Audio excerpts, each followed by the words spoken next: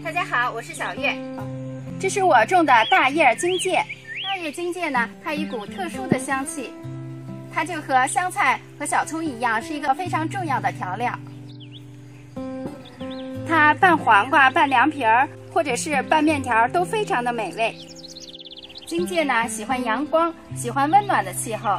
啊，所以它适合在春季、夏季、秋季种植。如果在冬季零下二度左右，它就会发生冻伤。荆芥呢有发汗解表的作用，如果外感风寒，吃它能缓解症状。它还有消炎止血、提神的作用。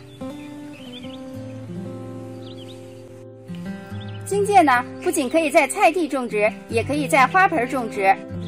如果在家庭的花盆里种植呢，随吃随摘，不仅能当调料，如果有个头疼脑热，也不需要买药了。荆芥呢是掐尖吃的，今天我就采摘一些回家做菜啦。